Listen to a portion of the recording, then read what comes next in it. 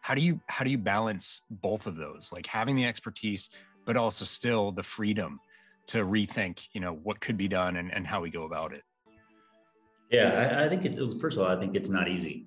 Like i will tell you that right? But i think it takes a um, a real open mindset and and that's easily said right? Um, harder to do because there's a couple things that at play here right? Is it takes both right? Like there's some insurance fundamentals right? Um, whether it's claim handling whether it's underwriting you name the piece that that has to be in place right? Yeah. that and you need um, expertise. And i can tell you like on on my team i've got you know 20 plus years state farm 20 plus years Allstate. I've got uh, i could go on and on with people yeah. on my team that understand the business. But at the same time you have to be completely um, open to um, thinking about things um, in a in a much different way. And um, I, I, find that uh, as I've been interviewing, as I've been looking to bring uh, you know additional people on to Lemonade because we continue to be a growing company, you really have to find that out to say, you know can you use that expertise in a way that makes sense in a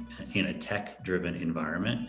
And um, it's it, I think it's something that we're going to continue to uh, see happen. By the way, I think people want to be part of it, but it, it has to take the right person. I'm Sean Burgess with Lemonade, and this is the future of insurance.